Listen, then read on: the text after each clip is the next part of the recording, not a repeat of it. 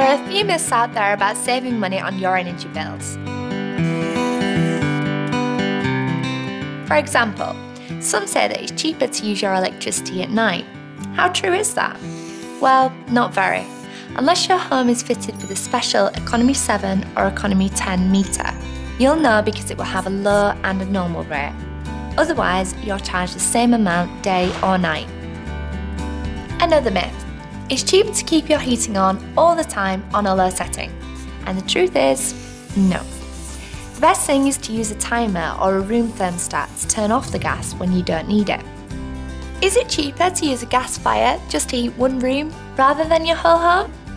For most people, the answer is a big no, since gas fires burn gas constantly while they're on.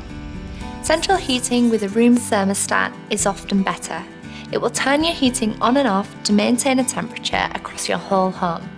It's something you can check yourself by following our online guide on this.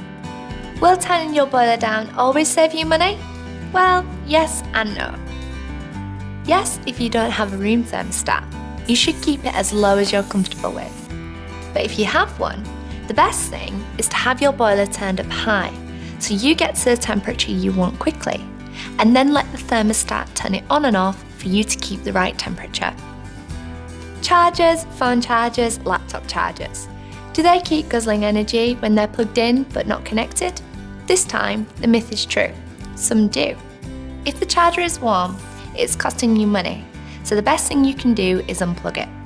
And a final myth screensavers. Do they save energy? No, they don't. They're actually an extra program your computer is running, so they use more energy. If you want to save money, put it in sleep or hibernate mode, or even better, switch it off. These are just a few energy saving myths, but you can find more information on other ways to save energy on our website, britishgas.co.uk. Just search for energy saving tips.